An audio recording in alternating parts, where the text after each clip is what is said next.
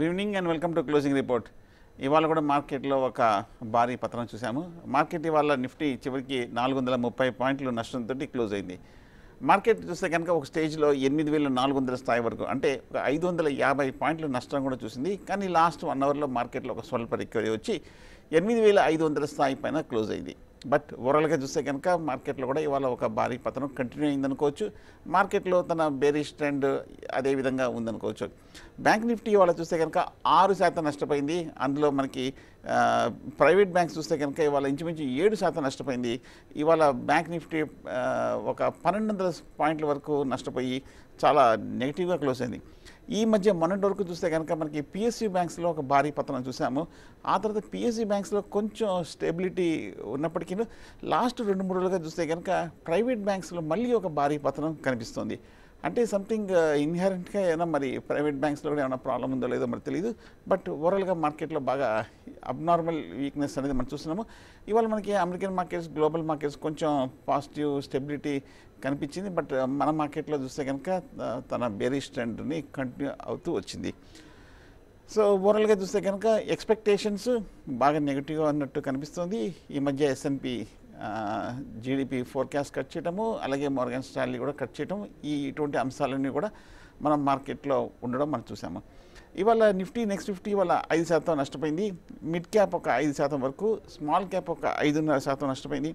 ఇవాళ financial services ఎన్బిఎఫ్సిసి ఇవాళ ఇంచుమించు ఏడు శాతం నష్టపోయింది. ఈ మధ్య లాస్ట్ రెండు మూడులుగా చూస్తే కనుక ఎన్బిఎఫ్సిలో కూడా ఒక భారీ కరెక్షన్ చూసాము. అందులో బజాజ్ ఫైనాన్స్ బజాజ్ ఫిన్సో లాంటి మొన్న ఒక అవుట్స్టాండింగ్ పెర్ఫార్మింగ్ స్టాక్స్లో కూడా ఒక మ్యాసివ్ సెల్లింగ్ ప్రెషర్ రావటము కొంచెం భారీ కరెక్షన్ అనేది కనిపించింది. ఇవాళ ఐటీ స్టాక్స్లో ఇంచుమించు రెండు పాయింట్ ఏడు శాతం నష్టపోయింది. ఇవాళ ఫార్మాలో కూడా మూడు పాయింట్ మూడు శాతం నష్టపోయింది. రియల్ ఎస్టేట్లో ఆరు శాతం నష్టపోయింది. సో ఆల్రౌండ్గా చూస్తే కనుక మార్కెట్లో ఒక భారీ సెల్లింగ్ ప్రెషర్ ఇవాళ కూడా కంటిన్యూ అయింది. ఇవాళ ఒకసారి మనం నిఫ్టీలో టాప్ గెయినర్స్ చూద్దాము ఆ తర్వాత టాప్ లూజర్స్. ఏ గ్రూప్ స్టాక్స్లో చూద్దాము? ఒకసారి ఇవాళ చూస్తే కనుక top gain of the day నూట అరవై ఎనిమిది రూపాయల్లో క్లోజ్ అయింది జీ ఎంటర్టైన్మెంట్. ఇవాళ ఇరవై ఆరు శాతం లాభపడింది జీ ఎంటర్టైన్మెంట్. ఓవరాల్గా చూస్తే కనుక జీ ఎంటర్టైన్మెంట్ ఈ మధ్యకాలంలో బాగా ఒక డౌన్ ట్రెండ్లో వెళ్ళటం మనం చూసాము. ఇంచుమించు మూడు వందల ఇరవై ముప్పై రూపాయల నుంచి కంటిన్యూస్గా పడుతూ ఇప్పుడు ఒక స్వల్ప రికవరీ కనిపించింది. బట్ కానీ ఓవరాల్గా వీక్గా ఉంది. ఇవాళ జస్ట్ ఒక డెడ్ క్యాట్ బౌన్స్ అనుకోవచ్చు. కానీ వాళ్ళు బాగా ఒక ట్వంటీ సెవెన్ పర్సెంట్ రికవరీ అనేది వాళ్ళకి కనిపించింది. బట్ టెక్నికల్గా చూస్తే కనుక పెద్ద ట్రెండ్లో ఎటువంటి పెద్ద మేజర్ ఇండికేషన్ కనిపించలేదు. ఎందుకంటే వి షేప్ రికవరింగ్ బాగా స్పైక్ తోటి పడింది ఇవాళ ఒక స్పైక్ తోటి రికవర్ అయింది కాబట్టి. So technical unless and until ఒక కన్సాలేషన్ వస్తే తప్ప కానీ మనకి ఒక క్లియర్ ట్రెండ్ కనిపించదు. కానీ ఇవాళ ఒక ఇరవై ఏడు శాతం జీ ఎంటర్టైన్మెంట్ పెరిగింది కాబట్టి దీన్ని బట్టి అర్థమవుతుంది అంటే మనకి లోయర్ రేట్లో అంటే ఇంచుమించు వన్ ఫార్టీ లెవెల్స్ దగ్గర స్ట్రాంగ్ సపోర్ట్ ఉన్నట్టు కనిపిస్తుంది.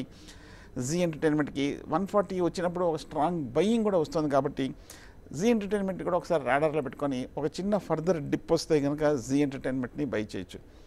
వాల్యుయేషన్స్ కూడా సింగిల్ డిజిట్కి వచ్చేసింది. జీ ఎంటర్టైన్మెంట్ బేసికల్గా జీ ఎంటర్టైన్మెంట్ గురించి మనం చెప్పాలంటే కనుక ఒకసారి డీసెంట్ ఫైనాన్షియల్స్ డీసెంట్ ప్రాఫిట్స్ ఇస్తున్న కంపెనీ ఆల్మోస్ట్ డెట్ ఫ్రీ అనుకోవచ్చు.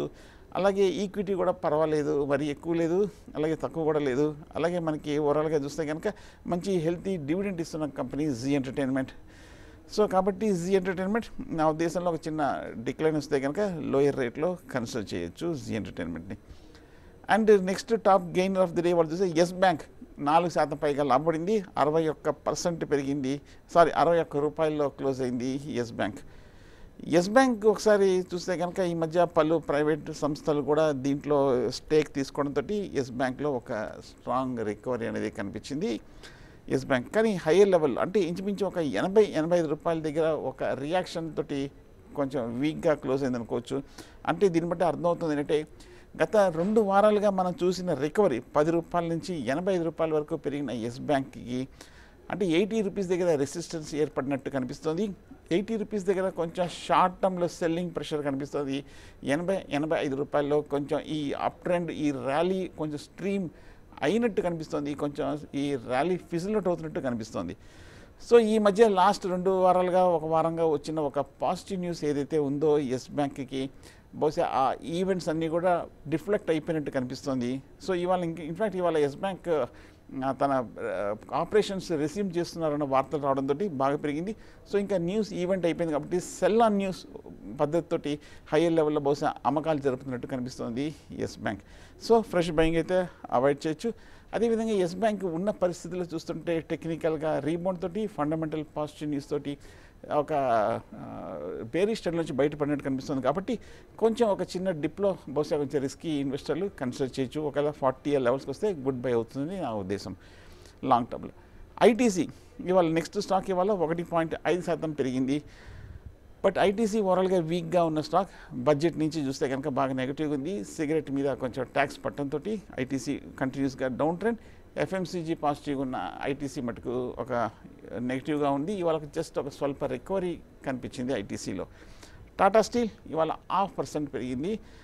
ఇవాళ ఐటీసీ టాటా స్టీల్ ఇవాళ రెండు వందల ఎనభై నాలుగు రూపాయల్లో క్లోజ్ అయింది. బట్ ఓవరాల్గా మెటల్స్ ఆల్రెడీ బాగా క్రాష్ అయిపోయినాయి. క్రాష్ అయిన తర్వాత ఇప్పుడు ఒక చిన్న ఊరట అనుకోవచ్చు. టెక్నికల్గా పెద్ద ఏమి ఇంప్రూవ్మెంట్ ట్రెండ్ రివర్సల్ అయినట్టు కనిపించలేదు. ఓవరాల్గా మెటల్ స్టాక్స్లో కొంచెం ఒక చిన్న కరెక్షన్ ఆగినట్టు కనిపిస్తుంది కానీ బట్ ఓవరాల్గా ఇంకా అప్ ట్రెండ్లోకి వెళ్ళలేదు. Unless and until couple of days Tata స్టీల్లో కూడా ఒక స్ట్రాంగ్ కన్సాలేషన్ తప్ప కానీ బై పొజిషన్ తీసుకోకూడదు షార్ట్ టర్మ్ కోసమైనా. టీసీఎస్ ఇవాళ హాఫ్ పర్సెంట్ పెరిగింది. పదహారు వందల అరవై ఐదు రూపాయల్లో క్లోజ్ అయింది టీసీఎస్ ఈ టాప్ ఐటీ స్టాక్ మొన్నటి వరకు బాగా పాజిటివ్ కామెంట్స్ తోటి one of the strongest IT stock అనుకున్న ఈ స్టాక్ ప్రైస్ రెండు వేల రెండు వందల యాభై రూపాయల నుంచి పదిహేను వందల యాభై రూపాయల వరకు పడి ప్రస్తుతానికి సిక్స్టీన్ ఫిఫ్టీ దగ్గర అంటే నియరర్ టు టాప్ బాటమ్ దగ్గర ట్రేడ్ అవుతుంది. బహుశా ఏమైనా కొంచెం ఒక పదిహేను వందలు ఇంకొక యాభై రూపాయలు తగ్గిందంటే కనుక టీసీఎస్ టాటా కన్సల్టెన్సీ సర్వీసెస్ని బై చేయొచ్చు. టీసీఎస్ కూడా చూస్తే కనుక ఈ కరెక్షన్ తోటి కొంచెం రీజనబుల్ వాల్యుయేషన్స్కి వచ్చింది. బిలో ట్వంటీకి రావడం అని చూసాము. One of the strong performing stock debt free company మంచి ట్రాక్ రికార్డ్ ఉన్న కంపెనీ టీసీఎస్ అండ్ ఇవి టాప్ ఫైవ్ స్టాక్స్ ఏ గ్రూప్లో. నెక్స్ట్ ఒకసారి మనం ఏ గ్రూప్లో టాప్ లూజర్స్ కూడా ఒకసారి చూద్దాం ఇండస్ఇండ్ బ్యాంక్. ఇవాళ మరీ దారుణంగా ఇరవై ఐదు శాతం నష్టపోయింది. ఊహించని తీరులో దారుణంగా క్రాష్ అయిపోయింది ఇండస్ఇండ్ బ్యాంక్.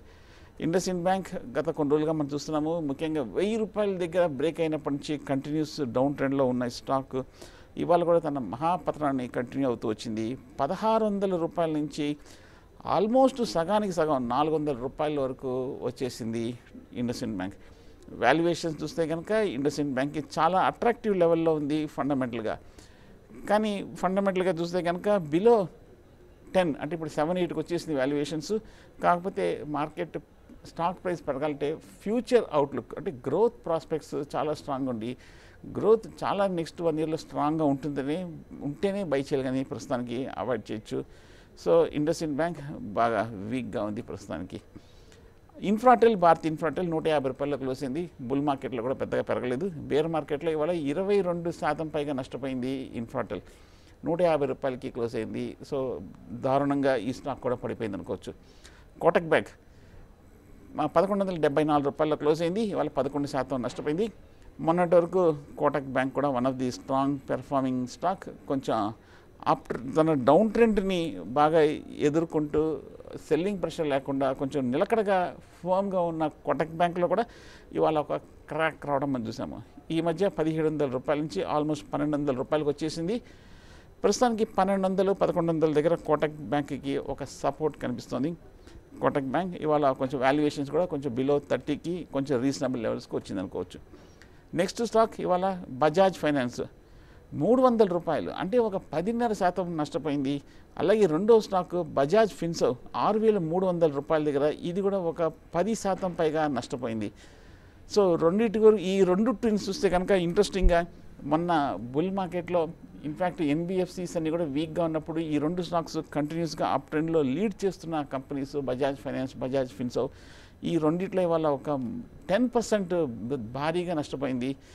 రెండు స్ట్రాంగ్ పెర్ఫార్మింగ్ కానీ బహుశా వాల్యుయేషన్స్ హై లెవెల్లో ఉండడం వల్ల కొంచెం డీప్ కరెక్షన్ అనేది రావడం మనం చూసాము.